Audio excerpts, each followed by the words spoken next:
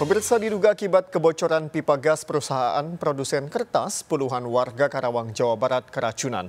Korban dirawat di sejumlah rumah sakit, sedangkan sebagian warga desa dievakuasi ke balai desa setempat.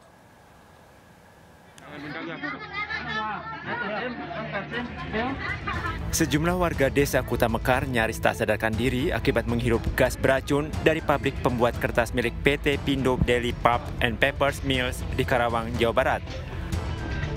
Warga mengalami mual, pusing hingga akhirnya tak sadarkan diri setelah menghirup gas yang diduga bocor dari pipa gas kaustik soda perusahaan produsen kertas yang terletak di Kecamatan Ciampel, Kabupaten Karawang.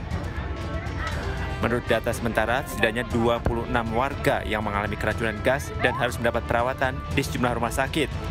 Di antaranya Rumah Sakit Rosela dan Rumah Sakit Delima Asih. sesak, Ah, terus? sesek. Nggak lama langsung naik ke ini, Oh, muter rumah itu muter. itu bau apa gimana bu? Uh, bau banget nyegak. Karena ini juga gatal. Dari mana itu bu baunya bu? dari mana? Dari mana asalnya bu? Asalnya dia di belakang. PT apa bu? apa bu? Kebocoran. Itu Pinodeli. Sebagian warga yang terdampak kebocoran gas dari perusahaan produsen kertas itu kini terpaksa dievakuasi ke kantor Balai Desa Kita Mekar, Karawang, Jawa Barat. Pihak PT Pindo Daily Pulp and Papers Mill hingga kini belum memberikan penjelasan terkait kasus tersebut. Dari Karawang, Jawa Barat, Muhammad Fahrudin melaporkan.